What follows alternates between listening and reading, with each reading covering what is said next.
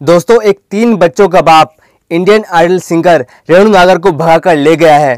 दोस्तों, इस वीडियो को अंत तक देखते रहिएगा, नहीं तो आप बहुत कुछ मिस कर जाएँगे। दोस्तों, चलिए आज का वीडियो शुरू करते हैं। तो दोस्तों, राजस्थान की अलवर निवासी सिंगर रेणु नागर को तो सभी लोग जानते हैं, क्योंकि दोस्तों 2018 के अंदर वह टीवी शो इंडियन आइडल के अंदर दिखाई दी थी, जिसके अंदर वह काफ़ी ज़्यादा प्रसिद्ध हुई थी। क्योंकि वह राजस्थान से थी। और दोस्तों, आपको बता दूँ, उस शो के अंदर सलमान अली भी मौजूद थे, जो कि उस शो के विनर रहे थे। तो दोस्तों, अब खबर आई है कि जो सिंगर रेणु नागर है, उसको एक तीन बच्चों का बाप भगाकर ले गया है।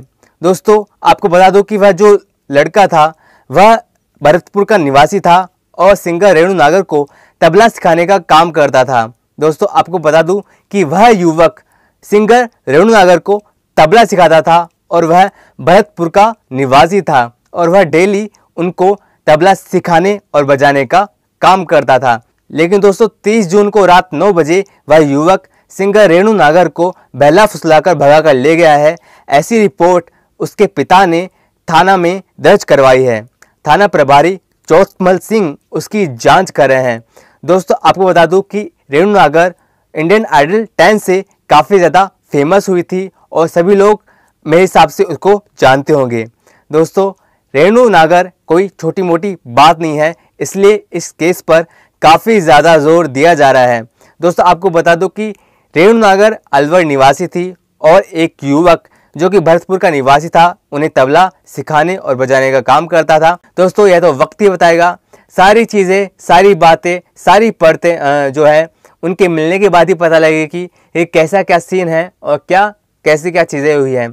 तो दोस्तों, जो भी राजस्थान के निवासी हैं, वह एक बार कमेंट बॉक्स में कमेंट करके ज़रूर बताइएगा कि आपके अलवर निवासी रेणुनागर के बारे में क्या ख्याल है और आपके अनुसार रेणुनागर खुद भागी है या फिर उनको कोई युवक बहला फुसलाकर लेकर गया है। तो दोस्तों, अगर आप पहले से रेणुनागर को जानते हैं तो कमेंट बॉक्स में यस टाइप कीजिएगा, नहीं तो नो टाइप कीजिएगा। तो दोस्तों, इसके बारे में अगर आगे भी कोई अपडेट आएगी तो मैं आपको ज़रूर बताऊँगा तो हमारे चैनल के साथ बने रहिएगा और हमारे चैनल को सब्सक्राइब ज़रूर कर लीजिएगा, ताकि आने वाले ऑडिशंस और जो भी न्यूज़ खबरें हैं, आपको एडवांस में मिलती रहें। तो दोस्तों, फ़िलहाल आज की वीडियो में इतना ही। मिलते हैं अगली वीडियो में।